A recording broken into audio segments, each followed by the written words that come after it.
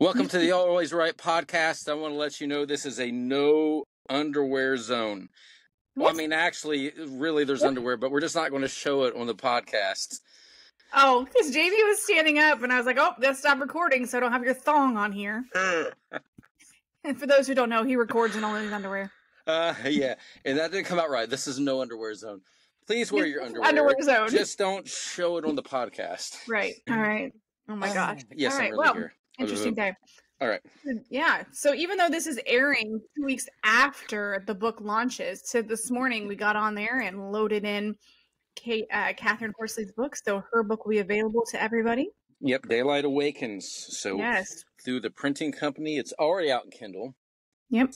and maybe out by the time this podcast is out. It will be because this one's coming out. So when this episode comes out, I will be in jolly old London, and you will be finishing up all your notes and getting ready for Age of the Sigil to be done because I'm giving you a week off, and yeah, so you won't have to be doing anything with me. I've got all my notes, but it's a lot of compilation to the point that, like I, I might have said it on another podcast, I'm going to release a guide to Age of the Sigil because Mhm.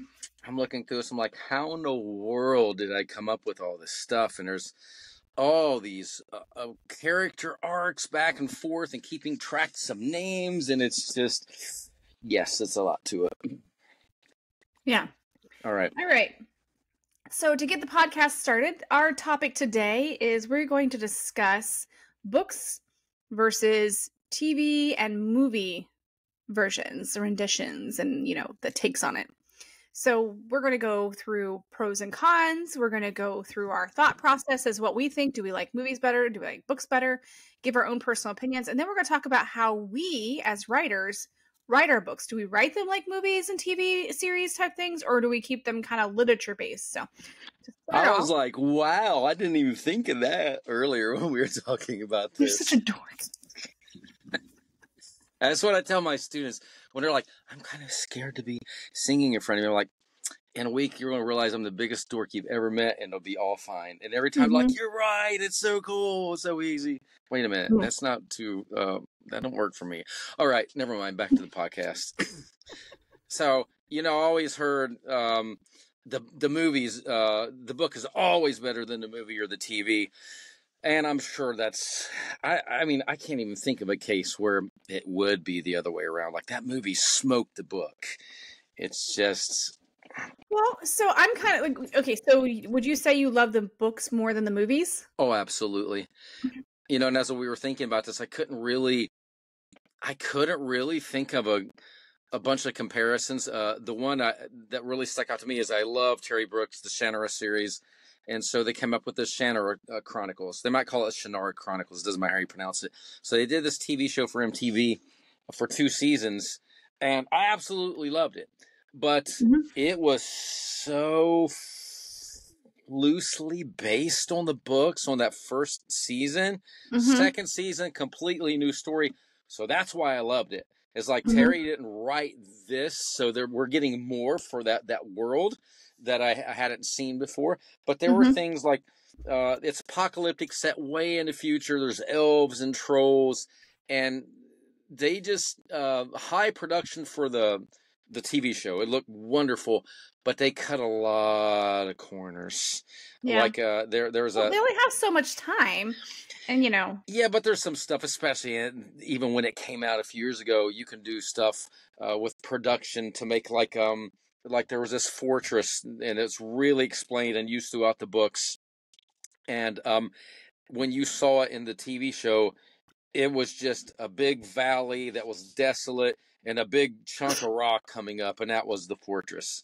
And I'm Hmm. like, what? That's not it. Or trolls weren't really trolls; they were people covered with masks, and um, just some of the ways they changed some of the characters. And I'm so I'm like, uh, yeah, you really screwed this up.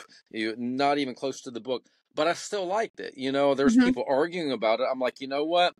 If you love the fantasy series from Terry Brooks, just enjoy them both. I mean, Terry was on the board when they were producing that, and he he knows how TV is. So they Mhm. did change it quite a lot. They didn't keep it closer. I mean, Lord of the Rings was, of course, wasn't as as in depth as the books, but it was a lot closer to the books than the Shannara series was. No, I mean, so growing up, I wasn't like a huge, and it's kind of comes from what my kiddo has said before. I didn't like reading because I was forced to read certain things.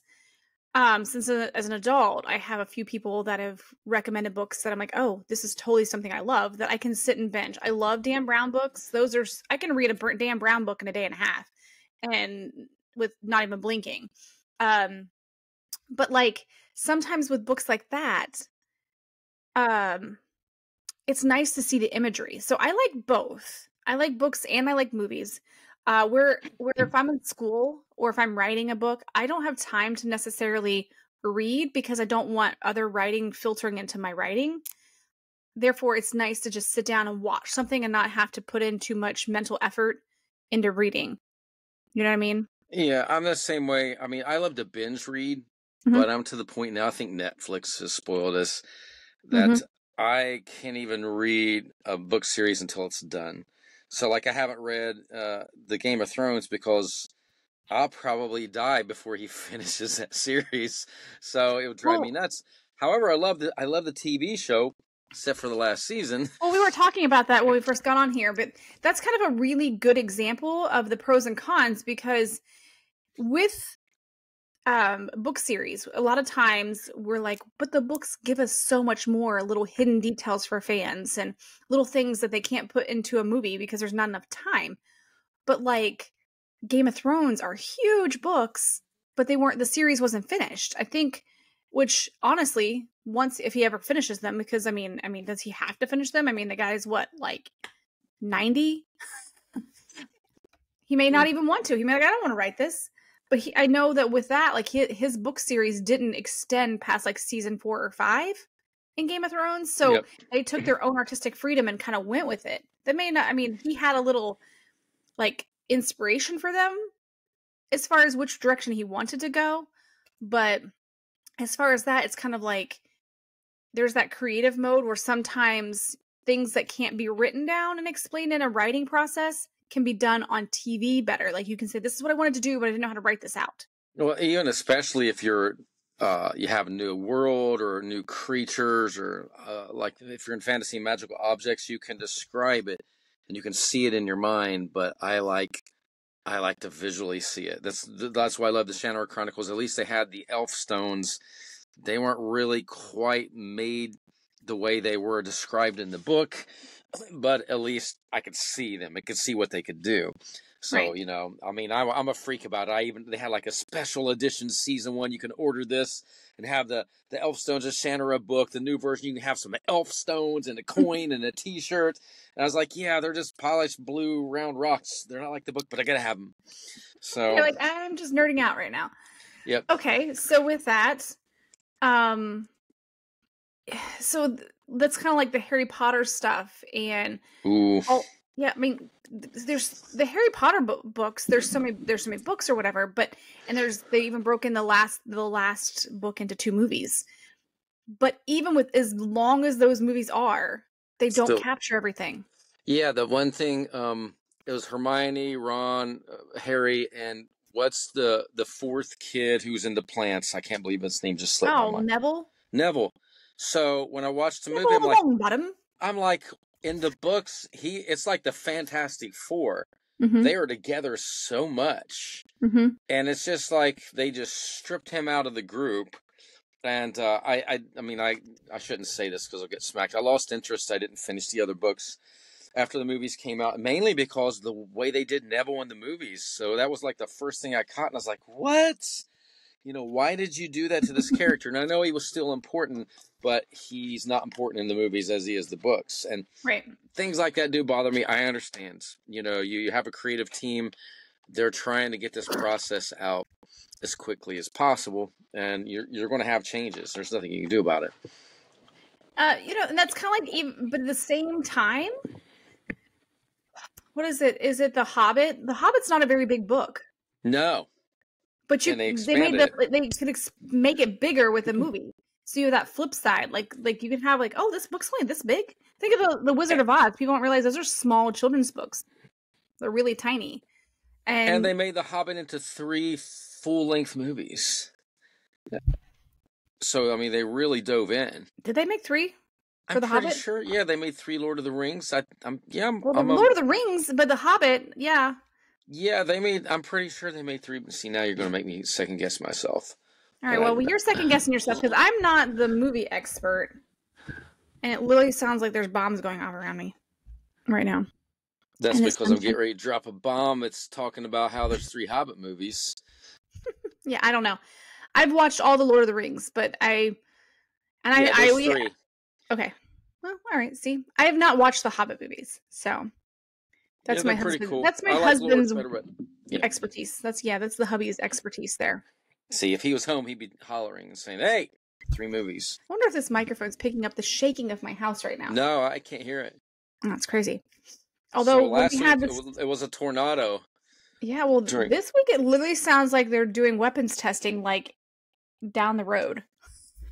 Well, that is a possibility. Yeah. Well, the other night we were we had a storm and the thunder was so freaking loud. Dylan shot up out of bed, freaked out, thinking a bomb had went off. It was extremely loud. I was like, "It's just a storm. Go back to bed." I'm like, "It's okay. It's okay." Calming him down. Um. All right. So uh, I'm thinking other pros and cons. So I wrote down some pros and cons on my notes that Yeah, I got a great follow list that here. Jaime doesn't follow. I'm following it now. That's in front of my face. He So did not I'll do the assignment this week. I do like that. The first thing you put was, as readers, we use our imagination, and yeah, because I also like a book when they vaguely describe a person or a character, so then you Mm-hmm. start forming what they look like in your minds. Mhm. So, and I've done that, and like a movie will come out, I was like, wait a minute, that's not what they look like. Oh, that was in my imagination. Yeah. Well, and it's nice because if it becomes into a movie, you're like, I think of actors that might play a character. Um, and that's kind of like with, I don't know, with the Da Vinci Code, uh, when you are reading that, um, what's his name? Pullman, the guy that's in, he plays like the Bill president. Pullman. Huh? Bill Pullman. The guy, does he play the president in Independence Day? Yep. Okay, him. I envision him as the lead actor in Da Vinci Code versus Tom Forrest Hanks. Gump. Right. So it's funny how they pick characters because I'm like, that's not even who I thought would be play that character. Um, and my husband thought I think the same thing. I'll have to double check with him, but I'm almost certain we both had the same character in mind when we read those books. So it's interesting how you're like, I see certain actors playing certain characters for um, for roles in books and stuff. But um, oh, I mentioned that. Oh, like Bridgerton. I've not. I don't have time to read the Bridgerton series um, I see the books. I'm like, oh, I'd love to read them, but I don't have time because I'm working on my stuff. And but I like seeing the imagery and the beauty and the way they bring it together. You know. So I, I probably wouldn't. I honestly probably wouldn't be interested in reading Bridgerton, but I, I like watching it if that makes sense. Well, it's the same thing with Game of Thrones. I, w- I would even go back and rewatch it. As much as I hate the last season, I'd still do it. Mm-hmm. Uh, but I, I, I even remember Daniel uh, because when we started writing fantasy years ago, he's like, "You really need to get into Game of Thrones," and, and I like I got the first book in the series, and I'm trying to read, and uh, I mean, he's great author, but it's just so long and detailed, and I'm like, I just want to get into the action and keep moving. Yeah, that's yeah. I that that- that's that has to do with the preference of the reader. You know, like with their preference for whether they want more, lots and lots of. Uh, as long as it's not word vomit, like we've talked, where it's just like, yeah, you're describing, you're you're taking me through a fantasy world. There's going to be a little more description in that. Um, but something I wrote on our notes, like as a huge pro for books versus movies, is that books are a great way to stimulate your mind if you have anxiety. Um, there is a great article I read in college, and um, it talks about the stimulation that books can give you to help you control your anxiety. And then recently, there was a like a Instagram video where they're like doctors are saying if you have anxiety or overwhelmed, you need to take in one of those uh, warheads, like a high powered sour warhead type thing, and your brain can only process one or the other. Wow. Mhm. Yeah, that's really cool because I hate warheads. My grandson loves them. He's and he calls me grand dude. Come on, dude. Come on. I'm like Grand "I'm dude." And so he'll take one, and I and he laughs. He laughs because I'm like, you get through that first little layer, and then, Yeah. and then it's sour for hours. Yeah. Yeah. Yeah, so I mean that that's kind of a huge pro is like keeping the brain stimulated and keeping the mind imagining and taking it away. When people always like it takes you to a different world, it absolutely does if it's done right. Um, it takes you to a different world. So that is a huge pro when it comes to uh, books, and you can pace yourself. Whereas a, a, movie or something, I mean, obviously you can turn it off, but you. I. I remember buying some hardbacks for some Terry Brooks books. Uh, like if he had uh, Sword, Elfstones, and Wishsong of Shannara, they put them in one big hardback, and I mm-hmm. would sit here and I would read and read and read. But uh, in those fantasy books, like they're always on a quest. They're like, yes, and they pulled out some ale and some stale bread and some cheese and some nuts. And so I'm grabbing. I'd go and get like all that. I'd have um, jerky, nuts, and I'd be eating the cheese cubes as I'm reading the book. So yes, it would pull me in. Mm-hmm. Mm-hmm. Now right. I'm going to call my husband out on this because one of the cons I have for um, for books versus movie stuff is that if you watch the movie, so you like, and we've mentioned this in the beginning of this podcast episode, was you can lose some of the character traits and developments of the character, and like you lost Neville, or you lose certain things about characters that you like. Oh yeah, in the book they tell more about this and explain, and they only maybe do a hint to it in the movie.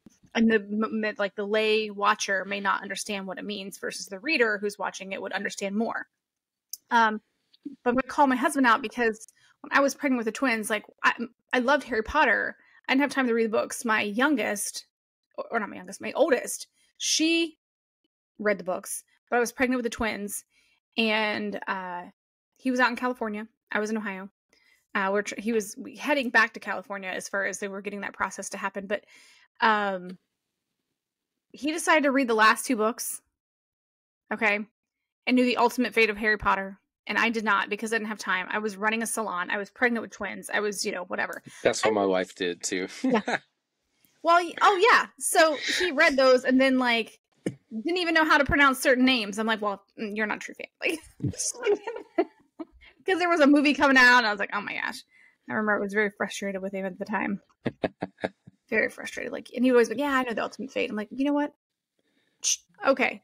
Uh, well, you know, but at the same time, on the flip, so talking about ultimate fates of characters i remember and i put this in my notes with twilight that i'd read the book series. I had several friends who'd read the book series but then i had some friends who had not read the book series but we would go watch the movies together when they came out. And i remember distinctly in the last movie um and i'm spoiler alert if you've not read them you're you're too late because these books have been out forever. The movies have been out forever but in the last scenes where the Volturi are, are fighting some of the the uh, in vamp- Twilight, yeah, and the vampires and the werewolves and stuff like that, you see this fight scene happening, and the very first person they kill is Carlisle, and you're, and the whole theater was like, books. like you hear this whole like like you hear people like freaking out and this fight scene's going on and people that you didn't think would die die and all these things are happening and you're like oh my gosh like you felt like like as an empath you could feel everybody's like That's anxiety. That can't be real. That can't be real. Yeah. Like everybody's just like freaking out. What's happening? This this is not in the books. Well, and and so everybody's freaking out, and then it's just like like that. You realize Alice gave a vision to one of the Volturi and said, "This is your outcome. You die if you take this path," and it all goes back to normal, and everybody's alive, and you're like, yep. "That was great."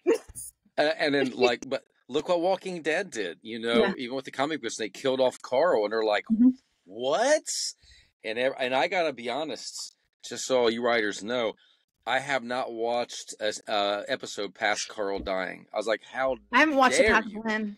I'm like, yeah, what? That one got me too. I'm like, are you serious? Mm-hmm. I was already freaking out the first time when he was underneath that dumpster, and like he's not going, there's not going to survive. And when that happened with the, the ball bat, I'm like, yeah. Well, we kept on, and then uh, yeah, Carl did it for me. So. But so that was what I was trying to say with the Twilight one with Stephenie Meyer said there was she wanted to do that essentially, but she didn't want. Didn't, it's kind of hard to write it that way. I can imagine like you having like a change some people could probably write that like flip of time but in the way that she wrote the book it was very hard to do that perspective because a lot of the book was from a certain person's perspective from mostly uh, bella's perspective yep. in the book so it'd be very hard to switch perspectives so yeah, because she would. Yeah, it, it, So I I really like how she did it in the movie because it did flip you a little bit, but I remember the the the gasp in the theater. So you get as a as a, a writer, you write stuff, and even the writing the way it was done in the beginning, uh, without the flip on the movie was ama- was great for me. So like when she had a lot of control in her movie by that point, she was able to have a little bit of artistic freedom. So that can be a plus for writers is they write something, you know, they want to put it on the screen, but it's kind of like how do you put it on the screen?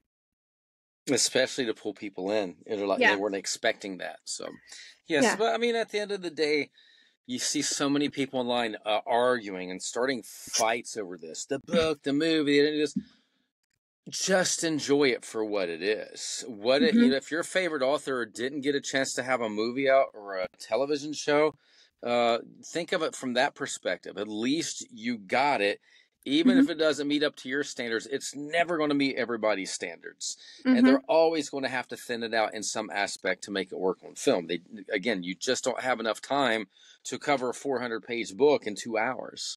Mhm. Mhm. Yeah, and and and you know, something that um something that I like sometimes when I'm reading is I don't like long I don't like long drawn out drawn out chapters. I like to be take me there and and do it like in just small bits or whatever. Um but I like books that are written like they're playing out like a movie. But that's yeah. how I, I I like books like that. Like Dan Brown writes like that. what? I thought you're like speaking of that. Oh no, no, I'm not to that part yet. No, no, no, I wasn't there yet. I was like, oh. that's down at the bottom of the list there, Jaime. you just hold your horses, you Sounds just like me. Yep. yeah. So something I have on my notes that um, I was thinking was movie lines. We talked about forever lines and books, but movie lines and TV lines that stick with you through book series are maybe different sometimes with like what they say their conversation might be different Be like no this is what they really said so there can be like a little mudding in the reading and what you read versus what they use creatively on screen. Yes, and uh, I mean that makes sense, and I can think of a million of them, and none of them come to mind. All the comic books, like how did they, they do that? Like, oh, you know, whenever Superman killed Zod, and like Superman would never do that people like were up in an uproar you know or if they change change how certain things are said or done in star wars they in an uproar like how they would how that would be just in a movie or um the harry potters are big ones for that too.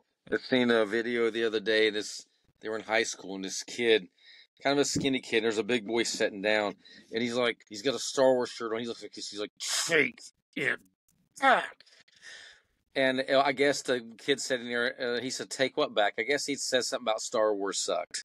He, the, the big kid didn't like it, and the, the kids were like, like all mad about it. And I'm like, mm-hmm. this is how outraged some fans get over this. Mm-hmm. I mean, life's too short. Mm-hmm. Enjoy mm-hmm. it. You know, everybody. If you love a character, whether it's Superman or you know, or Walking Dead or whatever, or Twilight. Some people hate Twilight. Those are the stupidest movies ever. I hate them. I hate them. What's oh, they're absolutely corny now that I go back and watch them, but at the same time, it's it is a kind of like a a tradition now with me and my girl, my daughters uh, that watch it with me. Um, it's just something that we have together, and I don't know. They when you watch the first ones, you're like, these are so corny how did I ever love these? But then you're like, they're but they're at the same time, you get you get it. It's kind of like you're bonded to it. But it's all entertainment. So what? Yes. You know, if you if you like it, who cares? Just enjoy yeah. it. And if the next person can't stand what you like, so what? Yeah. Just enjoy I mean, the I book. Like writing. I love the way she writes because she writes like the way I like to read stuff. So that's I mean, whatever. To each your own. Um I think I'm just going to shave my face because uh, every time I drink water, I have like tons of water droplets up here, and I'm watching my own podcast. I'm constantly doing this. People probably think it's my ADHD, but it probably is part of that too.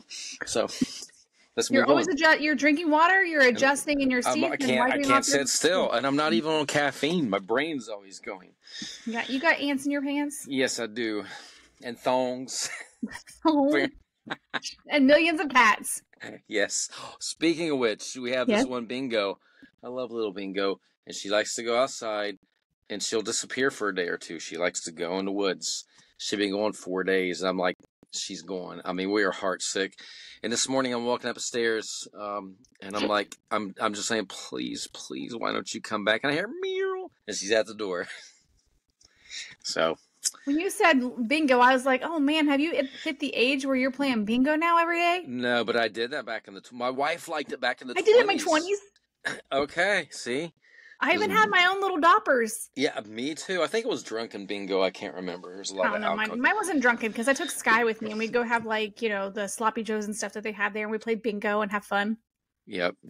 I mean, it's, it's kind of fun. There's a Indeed. ton of there's actual bingo. Like when we were in Ohio, there were people like, oh yeah, Monday night at the Yeah. at the lodge is bingo or whatever. You'd go to a specific place. It's like the state sport. But well, he has to literally have buildings that say bingo, real like it's an actual building. Like I'm like, they pay for these facilities to have bingo nonstop, seven days a week. it's crazy. It is. It is. All right, now to kind of uh, finish out this episode, how do we write our stories? You go first. Well, you know, it's funny. We came up, Daniel Middleton from Scribe Freelance and I came up with years ago writing fiction together, but he's like, you know, I think we ought to write them like, you know, how long it would take to watch a movie or watch a television show. And I'll be like, oh, that is so cool because what if you wrote a book Mm-hmm. and it blew up and they wanted to make a movie out of it and they want to thin it out but they realized all the dialogue's already there the scenes are tight. I don't really need to thin it out much more. It's already scene by scene it's easy and we can just really turn it into a transcript for a, movie or a television show. Mhm. so with that said of course some writers can come along and they can still screw up your story so i'm not saying it won't happen. But uh, we started writing movie books, which honestly, I think the longest movie book in pages we had is maybe 140 pages. They could be as little as 90 pages, but we we tell the story. We get it in and out, and I like to do trilogies. So you could really, and eventually we're going to do this uh, because they're on Kindle now. We'll, we'll put like three books together and make one print book, which would be mm-hmm. three or 400 pages long the TV books that I write, I love them actually more. Like right now, I'm working on Age of the Sigil, and uh, it has 13 episodes or 13 chapters that are between four to 5,000 words apiece, and it gets in and out. It lets you develop the characters. We have plenty of story arcs. So it's kind of like, oh, my favorite television shows on Netflix. I want to binge Mhm. watch this. You know, it's uh, Little Sheldon or something. And it's our young, young Sheldon. I think that's the name of it. I'm watching it right now and you're done in 20 minutes. So you literally could be done with a chapter or an episode of this TV book series in 20 minutes, where a book you're Mhm. done in a couple hours. So um, that was just my approach. You know, I've always in the back of my mind thought some of the books I'm writing would make for good Netflix series. Um, how could I keep them from destroying what I see, like really thinning it out? How could I make it easier for them so they don't have to do that Right. to fit in the time slot you're allotted for a television show or a movie. So, Mhm. and that's probably how I always write. I don't think I could. I mean, I've written big books because it's really, if I write like uh, The Crisis Artifact, which is in three movies, it's really one big book. It's one huge story. I'm just Right. breaking it down. And if you remember when you first came to me with Crystal Gate, that was my mentality. That's what I was Mhm. trying to do with your book. And you're like, no, I need it to be 1,600 pages long or whatever. so, but and then I got ganged on because Rich agreed with you. It's like, nope, it's got to stay together. So Mhm. it was cool. Well, because I didn't write mine to be broke apart, though. I wrote mine to be, you know. So you're you're writing yours where you have breaks and like cutoffs and stuff Yeah, like and that. I was actually coming from the mentality. I already saw what Amazon hadn't reached the point where they were doing Kindle shorts or tiny books. Everything Mhm. was like the more pages you have, the more amazing the book is. They weren't these tiny little 20 page books or whatever. So this was like 2008 when Daniel and I started, 2007, 7, 8. And we saw it. We're like, hey, you remember serials like the old television shows? Like, yes. He said, I'm telling you, that's where it's leading. With Netflix being so popular at the time, of course, you had to order CDs. And I think at that time they just came out with the streaming service. Oh, I totally forgot that's what Netflix started as. I forgot that you would order the CD and you'd have so many days to return it. Yeah, because I'm like, how in the world can they make money Mhm. Honestly, as cheap as they were with shipping and everything, but um, you know, they They finally had an end game and it worked. Yep. Yeah. And now they stream, you know, the roast of Tom Brady's on there. Which was hilarious. Yep, yep, yep, yep. So I write mine as I would consider Dan Brown scenes. So I don't write my scenes short and, and like more con- tight scenes like you say you do. Mine are more expounded, but I do write mine as each chapter is a scene change um, or a, a new perspective. But I tend to, uh, when I'm writing, uh, make sure that if I'm if I were filming this, how do I want my character to see the room? How what do I want them to first see? Do I want them to see the person over here, or I want them to go in the room and feel cold? So I try to go when I'm writing as if you're watching a movie. I guess b- basically. Do you get the eerie feeling when I when I do it? Are you are you spanning out from the clouds that are dissipating in the sky? Like what is the what would the filmer or the uh, the photographer or the movie you know cinematic version of this look like Yeah, you just get the director's cut, the four-hour movie. I'm just wanting to get in, in and out of the theater and eat me a couple Twizzlers and be done and on my way. So, so everyone's asking, Jaime, how'd you write so many books? Well, I, I've written like 60 books, but really, if you count up the pages, it's only really 22. So it doesn't, well, I mean, matter. in a, in a sense you are doing graphic novels without pictures Yeah, I like that. That's actually uh, a cool thing. And you know how my ADHD kicks in every once in a while?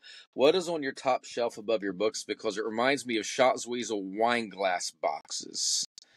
um this one right here has all my bathing suits in it Okay, I was thinking, do you have wine glasses up here for when I come down so I can be screaming at them? no and then this one has all of my t-shirts in it Okay. and i don't i think this one is like think like i don't know what's in that one i it's just decorative and i didn't want to have like it's just sitting on my shelf You should put wine glasses in it.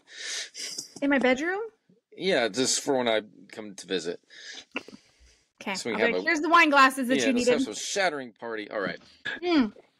If you ever do visit there is a really nice uh, wine Beast. bar Yeah, well yeah.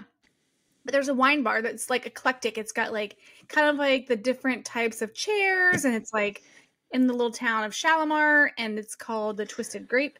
They have different types of wines from all over. Like they have uh, moscatos from uh, california or australia or you know like you can get different like which one would you like to have i was that like would "Oh, be cool. I, I don't really drink wine. I will though, but I'd probably drive nuts because I'll be like, "Can I try that wine glass?" Ding ding. oh you would be like ding ding ding oh this is this.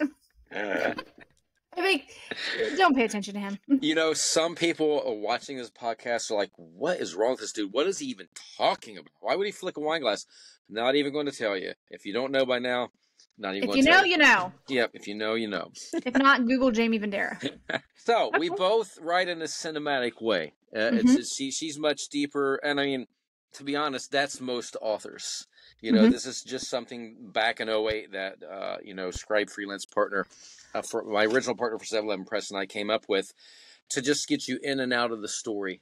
So you could have that break from from life and from stress. You're like, oh, I can sit in the chair. Oh, I got a new book from Jaime.